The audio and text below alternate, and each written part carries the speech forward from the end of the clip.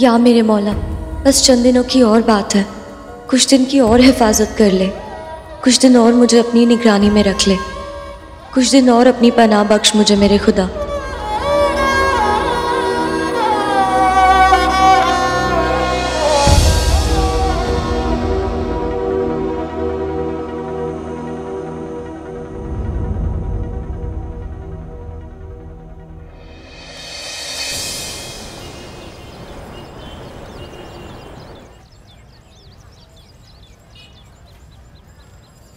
यकीन करेंगी कल रात दो बजे ये लड़की ऊपर वाले से दुआ मांग रही थी। हाँ करेंगी ना दुआ। और क्या करेगी? दुआ करेगी कि भाई आपको सच पता ना चल जाए कि वो आपकी कोई कज़न वज़न नहीं है और दुप्पल मार के आपके घर पे रह रही है। यही तो यही समझ में नहीं आ रहा कि वो झूठ क्यों बोल रही है? आखिरकार मकसद क्या है उसका झूठ बोलने के पीछे? क्योंकि इसके घर वालों को भी पता है वो यहाँ आपके घर ठहरी हुई है। किसे पता है? क्योंकि हमारी बात हुई ना उसके पिताजी से। सलीम सिद्दीकी नाम है उनका। आपके पास नंबर कहाँ से आया? इसकी जो किताब ली थी ना हमने उसमें इसकी फटी हुई आधार कार्ड की कॉपी थी उसके पीछे एक नंबर था। तो हमने उस नंबर पे फ़ोन किया था सच जानने के लिए। तो उसके पिताजी ने उठाया। क्या कर दिया आपने ये पुष्पा जी? खुद ही सोचिए कोई मजबूरी होगी ना जिसकी वजह से वो इस तरह छुप कर बिना किसी को बताए पुलिस वाले के घर में रह रही है। और आपने उसके पिताजी को घर वालों को फ़ोन करके बता दिया कि वो कहाँ है और क्या कर रही है?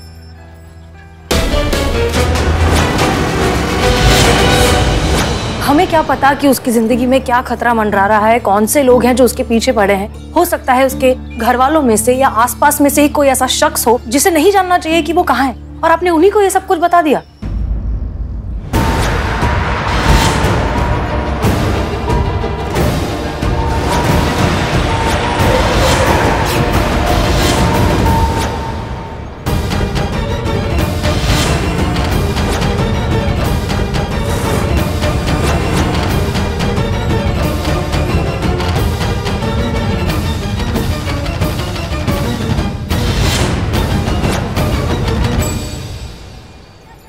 बाबू?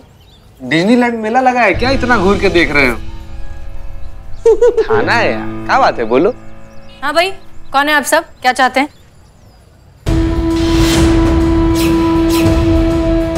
ये हमारे आदमी है मैडम।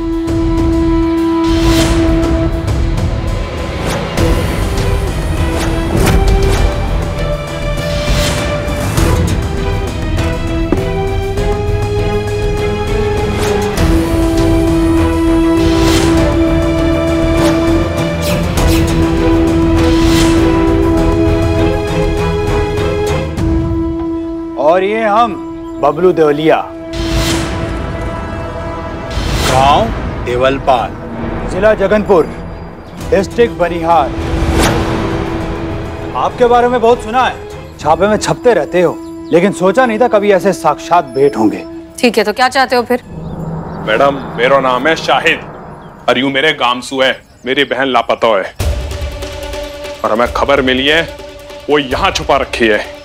नाम क्या है तुम्हारी बहन का? साजिया सिद्दीकी।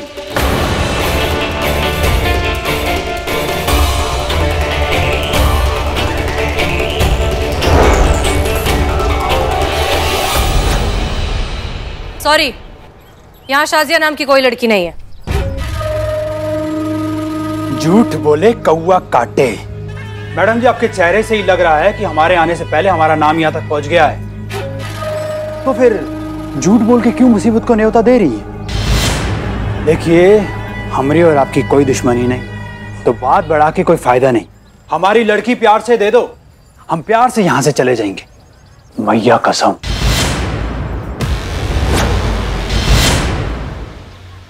अमाओ मैया वैया का डिपार्टमेंट ना हमारा है तो ज़्यादा मैया का छैया मत करो। हम अपने पे आ गए ना तो मैया का दैया कर देंगे तुम हमारे पैया पे होंगे क्या समझे? कहाँ जा रहे हो?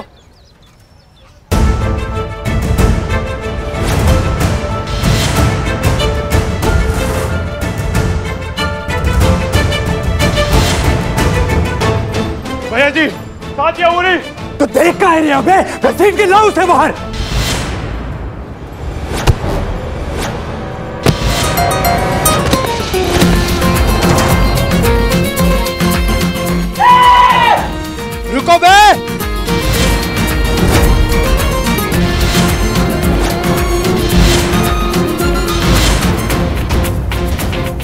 अमाओ एक कदम आगे और बढ़ाया ना टांग तोड़ के रख देंगे।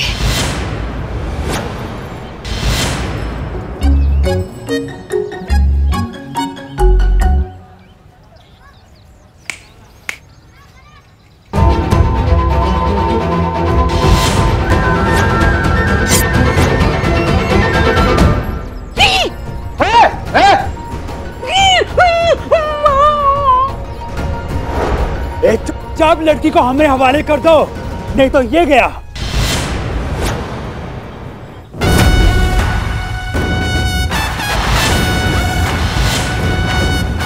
निकलो यहाँ से। वरना छितरा देंगे बता रहे हैं दाग देंगे गोली दिमाग में। आवा आवा आवा। बहुत बढ़िया। एक तो हमारी घर की लड़की को यहाँ छुपा के रखा है। दूसरा हम पे ही पुलिसिया गुंडा कर दी लड़की बालिक है।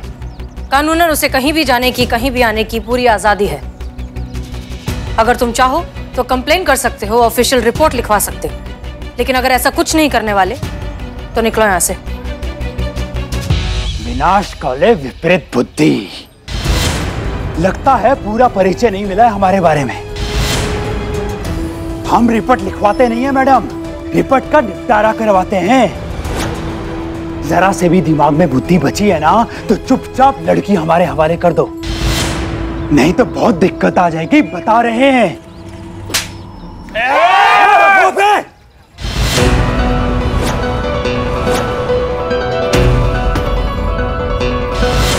चुपचाप यहाँ से चले जाओ, वरना तुम सबको जेल में डाल देंगे।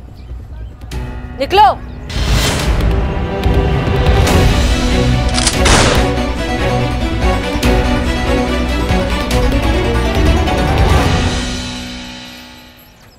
देखा? देखा? इसीलिए हम अपनी महिलाओं को घर से बाहर नहीं निकलने देते। इन लड़कियों के पास जब पावर आ जाता है ना तो ये भूल जाती है कि सही क्या और गलत क्या है। लगता है इज़्ज़त रास नहीं आई आप लोगों को। अभी तो जा रहे हैं, पर आएँगे ज़रूर। पूरी तैयारी के साथ आएँगे। आपको बताएँगे कि गलती से कहा पंगा ले लिया तुम लोगों ने? भैया कसम, ऐसा जलवा दिखाएँगे तो तुम खुद थाली में परोस के लड़की में दोगे।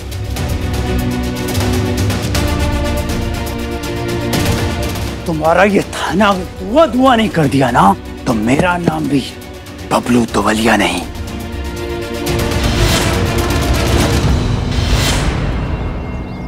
चलो बे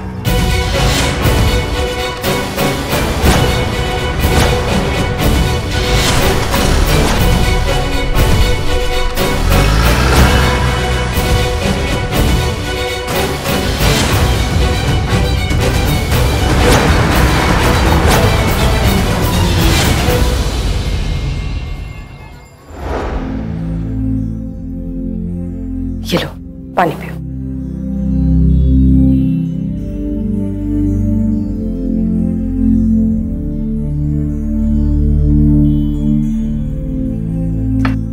शाजिया, झूठ क्यों कहा?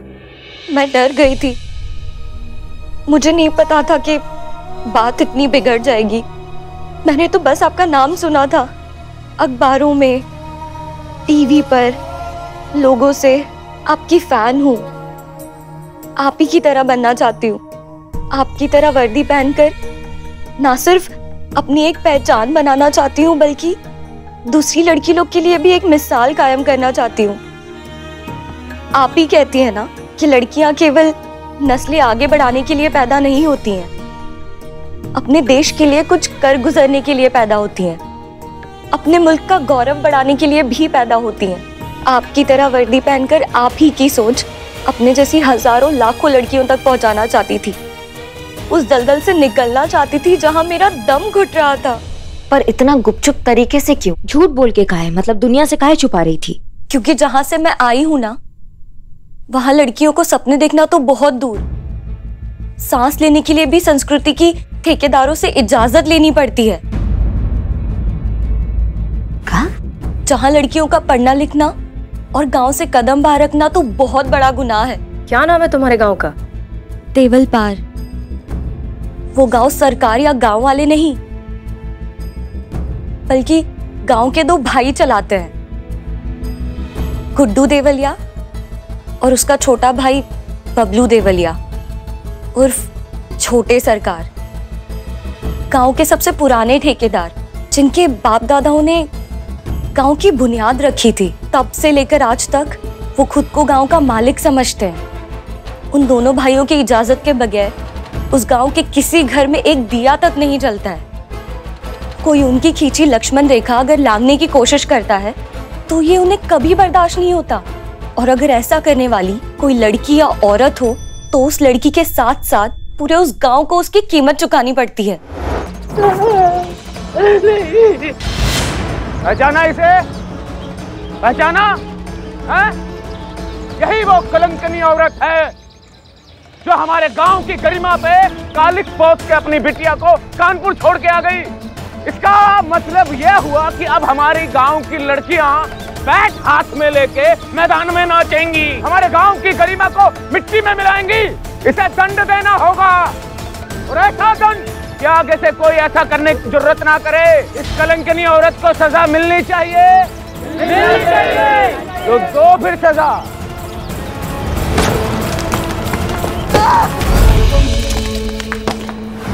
आज भी वो याद करती हूँ तो कांपने लगती हूँ। हिम्मत टूटने लगती है। सपने कमज़ोर पड़ने लगते हैं। लगता है बस वापस भागकर उस नर्क में चली जाऊँ। कम से कम ज़िंदा तो रहूँगी। लूट मचाए क्या? देश में कानून कायदा नाम का कोई चीज़ नहीं है क्या? तुमने रिपोर्ट का ही नहीं लिखवाई? रिपोर्ट लिखवाती ना तो सारी टोपागिरी इनकी निकल जाती। आप समझ नहीं रही हैं मैडम। मैं जिस गाँव से हूँ वहाँ कोई कायदा कानून नहीं चलता है। और इसका सबसे बड़ा एग्ज़ाम्पल ये है कि हमारे गाँव में कोई पुलिस स्टेशन है ही नहीं। ये तो आसपास के गाँव में होगा ना। वहाँ पर तो जाकर रिपोर्ट लिखवाया जा सकता था। दूसरा गाँव कोसों दूर है। जहाँ तक पहुँचने के लिए गुड्डू देवलिया और उसके साम्राज्य को चुनौती देनी होगी। इसीलिए पुलिस फोर्स ज्वाइन करना चाहती थी, ताकि गाँव तक अपने देश का कानून पहुँचा सकूँ। दोनों भाइयों को मेरे इरादों के बारे में पता चल गया था। इससे पहले वो मुझे पकड़ते या रोकते, मैं गाँव से भागकर यहाँ चली आई। मुझे यकीन था कि दुनिया में सिर्फ़ ये एक ही जगह है, जहाँ मैं सेफ़ रह पाऊँगी, पुलिस एग्ज़ाम दे पाऊँगी, अपना सपना पूरा कर पाऊँगी। ओके सो जो हो गया है वो हो चुका है। अब आगे क्या करना है ये सोचना है। क्योंकि शाजिया अब हमारी ज़िम्मेदारी है। शाजिया अब तुम्हें घबराने की बिल्कुल ज़रूरत नहीं है। तुम ये एग्ज़ाम दोगी। हम हैं तुम्हारे साथ। करिश्मा सिंह हमें डीएसपी सर से इस बारे में बात करनी होगी। प्लीज़ बी वेरी केयरफुल वो गुंडे दोबारा यहाँ आ सकते हैं। अब सबको अलर्ट रहना होगा। क्लियर जी मैडम सर। जी मैडम सर कुछ नहीं होगा ऐसे। डोंट वरी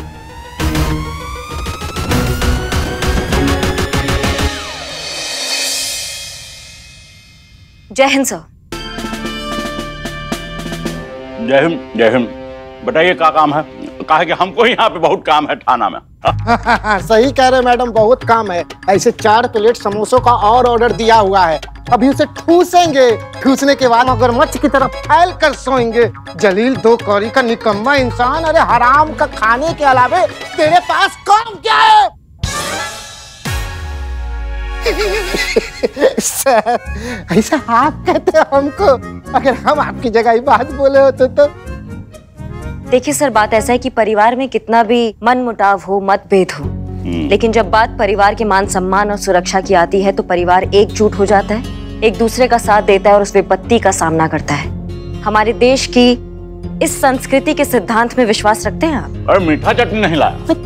हाँ करता है। तो तो हम जो कानून के इतने बड़े परिवार का एक हिस्सा है सब खाकी के रंग से हम जुड़े हुए हैं एक दूसरे के साथ तो कोई भी विपत्ति आएगी तो वो हम सब की विपत्ति होगी और हम सबको भी एकजुट होकर एक दूसरे का साथ देना चाहिए और उस विपत्ति का सामना करना चाहिए। क्या आप इसमें विश्वास रखते हैं? बहुत तीखा है बहुत तीखा है। अब करिश्मा जी मुद्दा पर आइए मुद्दा पर आइए। तो ऐसा ही कुछ परिस्थिति आ गया है सर। खाकी को खाकी का ज़रूरत है। ऐसा अंदेशा आया है कि कुछ असामाजिक तत्व हमारे थाने पे हमला करने वाले हैं तो संख्या बहुत ज़्यादा होगी, तादाद बहुत ज़्यादा होगी तो हमें और स्टाफ की ज़रूरत पड़ेगी गुंडों को मुँह तोड़ जवाब देने के लिए। अच्छा अच्छा अच्छा। यानी ऐसा आ रही थी आप, हैं? यानी महिला पुलिस थाने की महिलाओं को हम पुरुषों का जो है वो ज़रूरत पड़ गवा है। सुरक्षा का गुहार लेके आई हैं आप हमारा मदद मांगने आई है आप है कि नहीं? साथ मांगने आए हैं सुरक्षा नहीं सुरक्षा तो हम खुद भी कर सकते। साथ देंगे कहे नहीं देंगे भैया? हैं ज़रूर देंगे। अरे एक अबला नारी हमारी मदद मांगने के लिए आई है। हम कैसा ना पीछे हट सकते हैं? बिल्कुल नहीं हटेंगे हम अभी चलेंगे। लेकिन एक छोटा सा जो है वो शर्त है हमारा। शर्त? कैसी शर्त? शर्त ये है अरे कि एक बार सिर्फ़ एक बार आपको जो है इस सबके सामने मानना पड़ेगा कि औरत जो है वो कभी भी मर्द का जगह नहीं ले सकती, मर्द का बराबर ही नहीं कर सकती। औरत वो काम कभी नहीं कर सकती जो एक मर्द कर सकता है। ये जो वर्दी है, इसका ज़िम्मेदारी का जो भार है, वो सिर्फ़ हम मर्द उठा सकते हैं, ना कि औरत। औरत हमेशा पुरुष पर निर्भर थी, है और रहेगी, बस इतना सा आप बोल दीजिए, हम चल पड़ेंगे आपके साथ। का? का सोच रही आप? आप मतलब सोच रहे कितना दुर्भाग्य का बात है कि जब जब हम औरतें इस बात को भूलना चाहती हैं कि मर्द औरतों के बारे में क्या सोचते हैं तब तब आप जैसे मर्द इस बात का एहसास करा देते हैं कि ये रेस जो है ना अभी बहुत लंबी है और आप जैसे मर्द के दिमाग में जो कचरा भरा हुआ है उसको निकालने में अभी बहुत वक्त लगेगा। बकवास? हमको ऐसा लगा था कि हमने यहाँ आके दुनिया का सबसे बड़ा गलती कर दिया है लेकिन अब ऐसा लग रहा है कि हमने एक नंबर काम किया है। हाँ। क्योंकि अब जो गुंडे हमारे महिला पुलिस थाना पे हमला करेंगे ना हम उस हर एक गुंडे के मुँह पे आपका चेहरा देखेंगे और मैया कसम उस चेहरे को इतना फोड़ेंगे इतना फोड़ेंगे और वो हाल करेंगे ना कि हर एक गुंडा एक ही बात बोलेगा कि दरोगा जी देखी तो बहुत मगर तुम सा ना देखा। ऐसा मोटिवेट कर दिया आपने हमें आप। जय हिंद। जय जय जय हिंद। मैडम जय हिंद। मिस मलिक उस लड़की का क्या नाम बताया आपने? शाजिया सिद्दीकी। हाँ साजिया सिद्दीकी। अरे उस लड़की ने बिल्कुल सही बताया। अरे भाई, हम सब जानते हैं। प्रदेश की सीमा से लेके जो भी गाँव कस्बे है ना, वहाँ पे कानून व्यवस्था बिल्कुल लचर है। वहाँ पे ये मान लो कि कानून व्यवस्था होती ही नहीं है, उसका फ़ायदा उठाते हैं, वहाँ के जो गुंडे हैं, बदमाश हैं, वहाँ के जो ठेकेदार हैं, वो अपनी मनमानी चलाते हैं, अपना राज चलाते हैं, और ये सब ज़्यादा दिन नहीं चलेगा, और हम चलने भी नहीं देंगे। प्रदेश सरकार तटस्थ है। इस बात के लिए कि वहाँ पर कानून व्यवस्था लागू की जाए। वहाँ पे पुलिस स्टेशन होंगे वहाँ पे पुलिस व्यवस्था होगी। लेकिन तब तक के लिए साजिया सिद्दीकी की ज़िम्मेदारी हमारी होगी। हमारा डिपार्टमेंट उसकी पूरी सुरक्षा करेगा। Thank you sir thank you so much हमें पता था कि आप हमें ना उम्मीद नहीं करेंगे। अरे ये तो देवल पार्क का क्या मामला है? जय हिंद सर जय हिंद अरे सर हम सब जानते हैं। देवल पार्क के बारे में आपको कैसे पता सर? सर आपके आने के कुछ देर पहले ही हसीना मलिक हमें देवल पार्क के बारे में ही बता रही थी। जानते क्या हैं आप देवल पार्क के बारे में? देखिए सर दरअसल प्रदेश की सीमा से लगा हुआ सौ डेढ़ सौ घरों वाला छोटा सा कस्बा है वो। फिर भी पॉलिटिकली बहुत इंपॉर्टेंट है।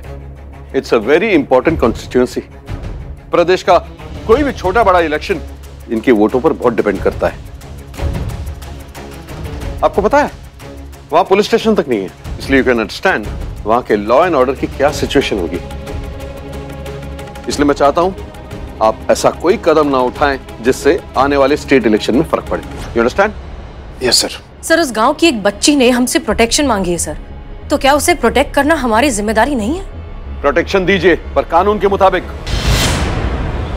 आप एक काम कीजिए उस लड़की को हेडक्वार्टर के स्टाफ को हैंडओवर कीजिए। बाकी वो देख लेंगे। ओके सर लेकिन सर मिस मल्लिक जिनका काम है उन्हें करने दीजिए। हेडक्वार्टर के स्टाफ को हैंडओवर कीजिए वो लड़की और छूट जाइए इस ज़िम्मेदारी से। हम उस लड़की को हैंडओवर नहीं करेंगे सर। क्या? हम उस लड़की को हैंडओवर नहीं करेंगे सर। क्या? माफ़ कीजिए सर लेकिन ये बात हम सब बहुत अच्छे से जानते हैं कि उस लड़की को हैंडओवर करने का मतलब है वापस उसी नर्क में ढकेल देना जहाँ से वो बड़ी मुश्किल से बचकर निकली है। माफ़ कीजिए लेकिन हम हम एक मासूम बच्ची को आदमखोर मगरमच्छ के तालाब में नहीं फेंकेंगे सर। चाहे कुछ भी हो जाए उसकी हिफाजत की ज़िम्मेदारी हमारी है। मिस मल्लिक शायद आप ये भूल रही हैं कि आप कहाँ खड़ी हैं और किससे बात कर रही हैं। रिक्वेस्ट नहीं है ये ऑर्डर है। उस लड़की को हेडक्वार्टर के स्टाफ को हैंड ओवर कीजिए I जय हिंद सर। जय हिंद सर। जय हिंद।